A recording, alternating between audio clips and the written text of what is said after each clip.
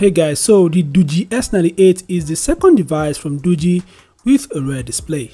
Doogee has done for the second time what many other brands that make rugged smartphones has never done. Blackview, Umidigi, Oukitel, they've never released a rugged phone that has a rear display. So Doogee in my opinion is probably ahead of them currently Doogee is just making lots of smartphones these days that look really nice. The S98 has a circle-shaped rear display as opposed to the V20 that has a rectangular shaped rear display. With the rear display, you could check the time, make phone calls and play music, which is kinda cool.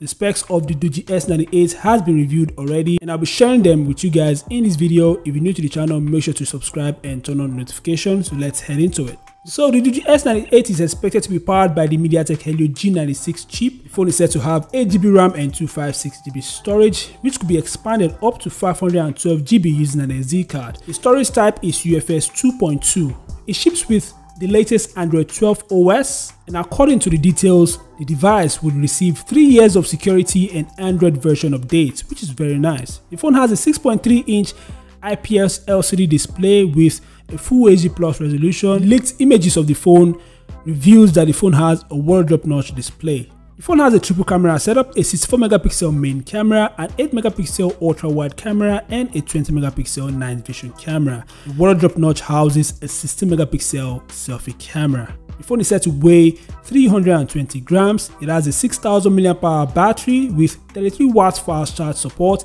and 15 watts wireless charging. The device will be arriving in three colors champagne gold, chestnut red, and silver grey. The phone is also said to have a side-mounted fingerprint scanner. It would not have a 3.5mm headphone jack, which might be a huge con for many smartphone users. And just like many other rugged phones, the phone supports IP68 and IP69K.